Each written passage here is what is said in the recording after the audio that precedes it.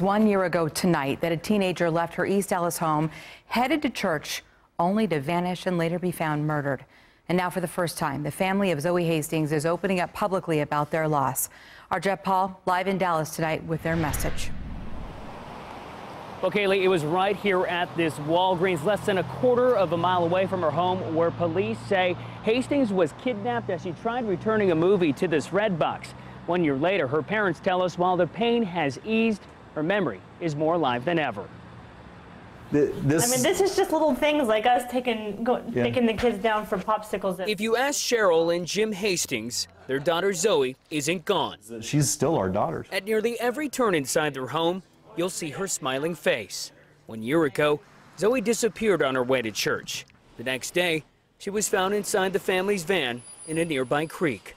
That one moment does not define her or us. Cheryl and Jim have spent the last 365 days trying to heal. It's, it's kind of hard when you see other families that we know that have kids that are Zoe's age, that they're going off to college and having a lot of the experiences that she would be having. Police say Antonio Lamar Cochran forced his way inside Zoe's van when she was stopped at a pharmacy and later murdered her.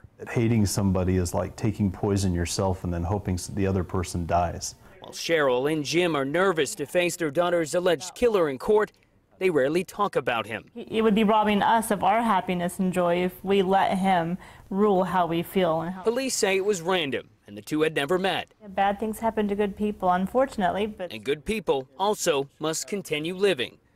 They focus on their faith and what Zoe would have wanted for them to not drown in sorrow.